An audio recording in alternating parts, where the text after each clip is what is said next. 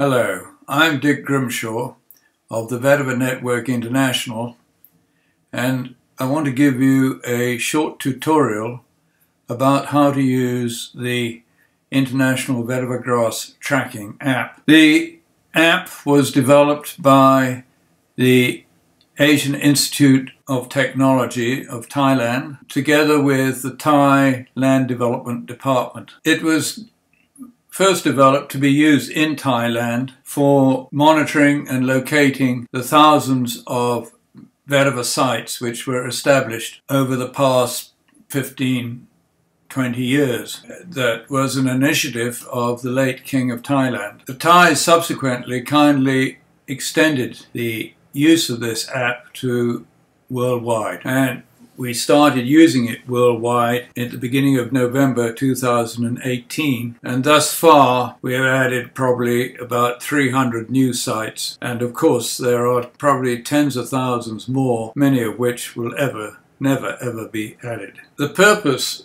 of the app is to, first of all, provide a better indication of the worldwide coverage of vetiver and its uses and help in the promotion of the technology. Secondly, projects that are developed by particular agencies who want to monitor these projects and there may be multi-sites within a country or neighboring countries can use this app to locate their vetiver sites and then search for them as, as a group. This app is capable of providing summarized data for groups of projects. Thirdly, this site is supposed to help the promotion of the commercial aspects of vetiver, particularly companies that are propagating vetiver as commercial nurseries. Now, the tutorial will be in two parts. Part one will cover the what I call the front end of the app, which is for public use, and then part two will focus on what is behind this app and for which only registered and logged in users can use it. And they can use it for adding new sites, editing old sites, and updating existing sites.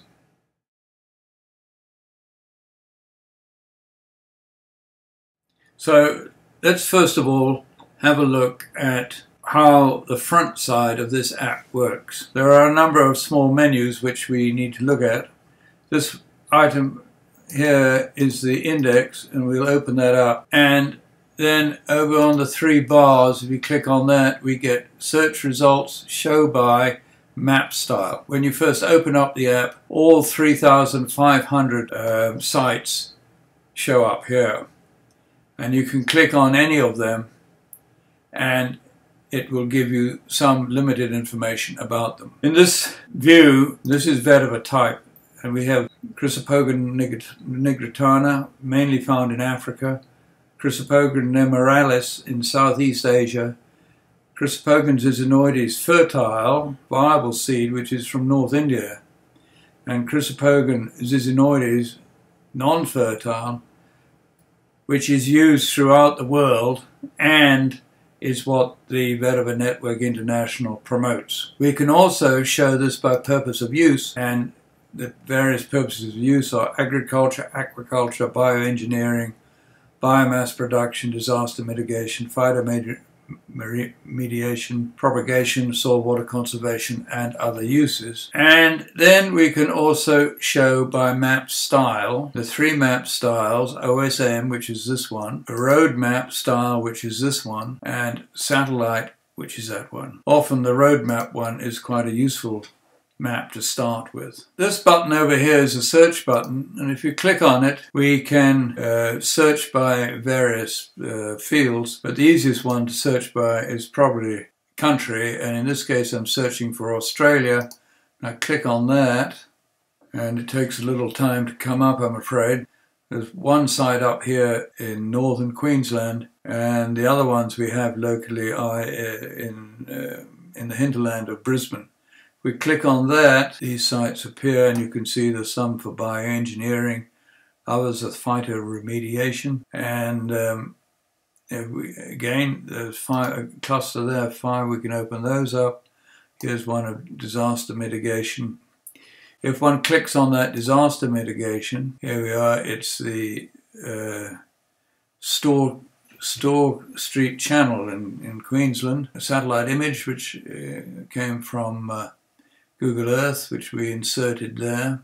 Here is another image. Uh, this is an interesting site in that the vetiver had been planted back in this area here about 10 years ago and recently it was removed. We don't know why it was removed, but um, it was. And you can have another look at one here. There's this, here's a site here, Gatton Research Station, where it's been planted for patient purposes. If you want to reduce this map on a Mac, you use, you put the pointer on the map and, and, you, and shift minus. Uh, if you do control minus, the whole thing, whole thing gets smaller, including the, the menu. One aspect that I would like to draw your attention to is the data summary features that this app can provide. These two icons, this one and this one, summarize the data that is shown in the search results. So if you click on this icon, normally it will show the number of plants or the number of areas which have been planted to vetiver. And if we click on this one, a pie chart will emerge showing the distribution of planting between different applications. Unfortunately, at this time, uh, the system is not working that well. But it's a useful feature because if, for example, you are a non-profit organization working in, say, Ethiopia and you have projects uh, uh, around Ethiopia and you want to be able to monitor in real time the amount of vetiver which is coming out of, say, your nurseries, you can uh, code the field name, project name, in such a way that it makes it easy to select all the projects under your control. When these come up in this left-hand column here, you can then get summarized data for them. So I think we've covered most of the uh, aspects of uh, the front side, and we will call that the end of part one.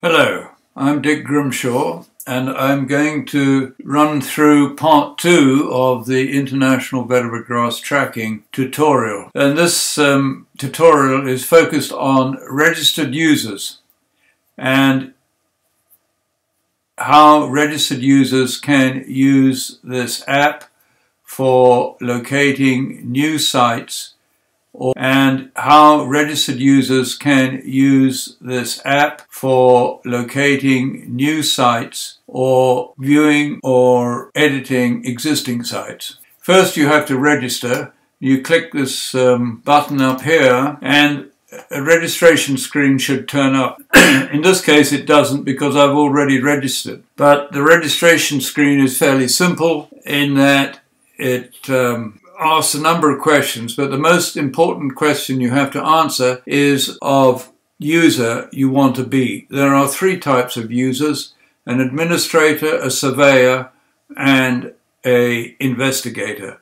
You cannot register as an administrator. There are only six administrators in the whole system, and if you try and register, you'll be rejected. If you register as a surveyor, you will, your registration has to be authorized and it may take a day or two. And we only authorize surveyors who we know are committed to the vetiver system and have a professional knowledge about it. The third group are investigators, and investigators are able to register and get automatic approval. They can only use the system within their country of operation, but within that country they can add new sites and they can review and edit existing sites, even if those sites do not belong to themselves. So that's basically how to register. Once registered, you log in, and you can either log in with Facebook, Google, or Microsoft, assuming you have an account in either of those three.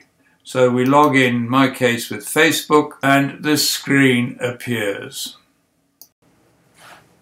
The first thing you will see is this screen showing um, 10 uh, projects, Vetiver sites, and um, they all are sites that I have added. In other words, they're up here. They come under my sites, these projects, my projects. And I've entered, if you look down here, 19 screens times 10. That's over 190 um, sites. Now, these sites actually don't belong to me, but I know about them and I've confirmed the majority of them using Google Earth and other means, also including some on-site visits. The next thing one can do is to um, have some uh, identify and uh, now what I would like to do now is to show you how to add a new project. And what you do is you click here, you see the new project here in this uh, sidebar and you click on it and this screen comes up. Now for some reason or other, there's a problem with the satellite imagery today.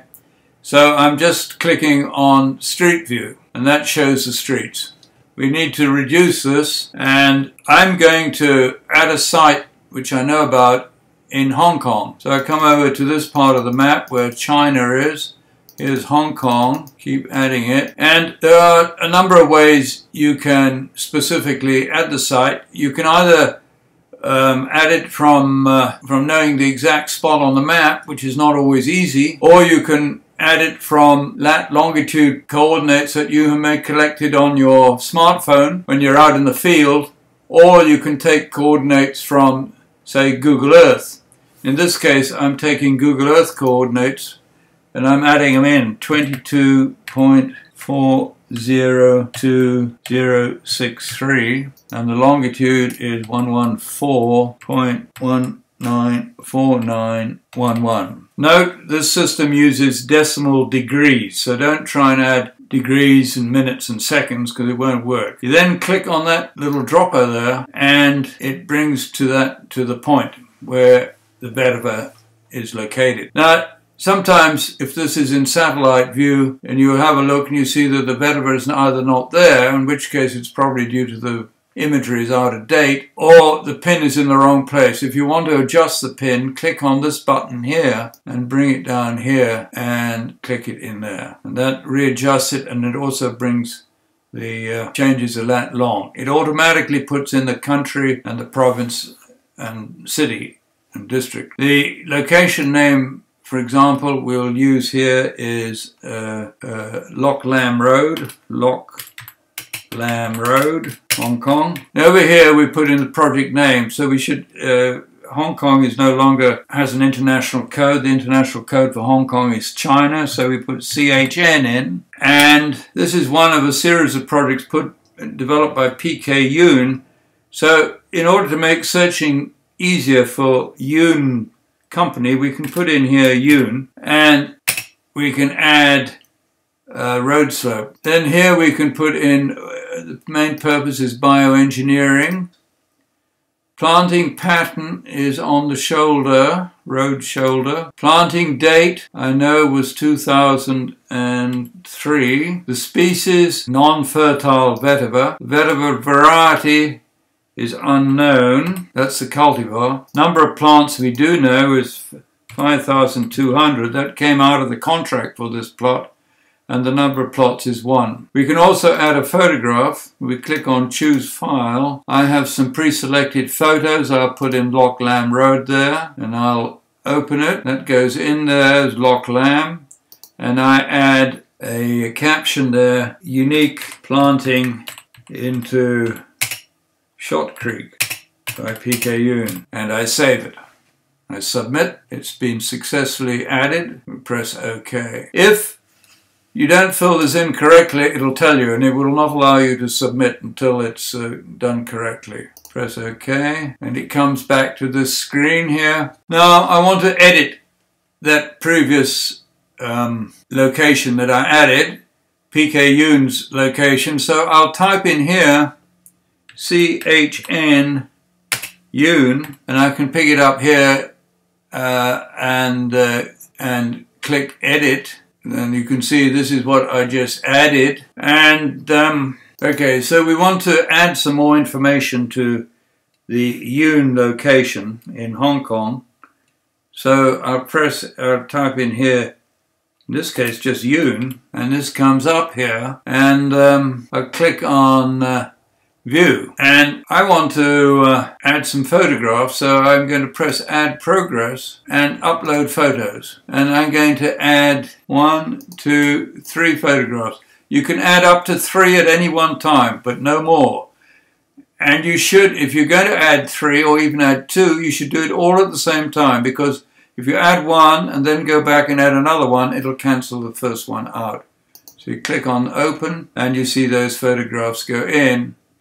And you can add up here some uh, a caption. Unique photos of site 15 years after planting and add progress. Okay, successfully uploaded. So now when you look at the view, you can, you'll see these uh, new images. Now, if, for instance, I want to come back again in uh, next year or the year after and add some new images, or even if I want to add another three images right now, I can click Add Progress and put the three images in.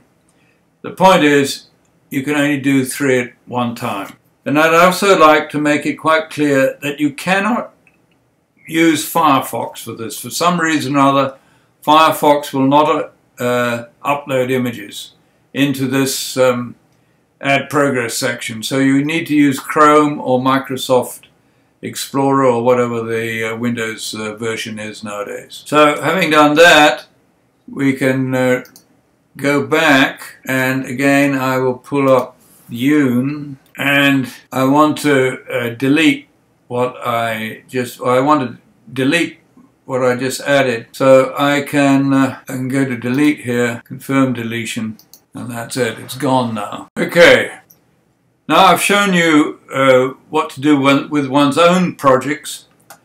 You can either view them or edit them. You cannot delete, only administrators can delete. And um, I can now come to um, uh, other projects which other people have entered. If you're an investigator, you can look at the projects which have been entered in your country. So if you're an investigator from Brazil, you can just look at your Brazilian ones.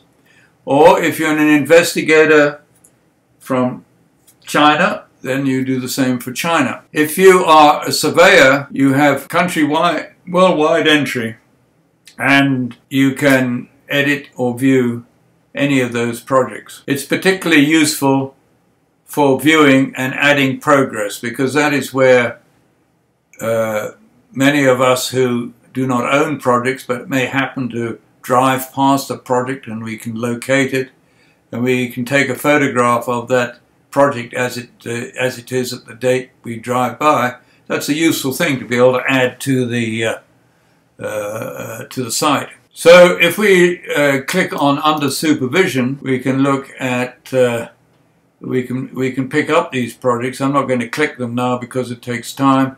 When you click it, and all, in, since I'm an administrator, I can look at any project. All 3,500 photos, uh, project sites will uh, will emerge, will be shown, and then I will be able to uh, view or edit them. Well, that's it. I hope this is uh, helpful, um, and uh, it's very important to uh, use this app if you don't mind, particularly people who uh, are interested in Vetiver and committed to the Vetiver system and want the system to be better known throughout the world. Also, if you are a commercial company and you want to uh, locate your projects and put a unique project name to them, code there so that it's easy to pick out your uh, projects uh, and uh, show them to other people, then uh, this could be a very useful tool for you. Anyway, thank you very much and good luck.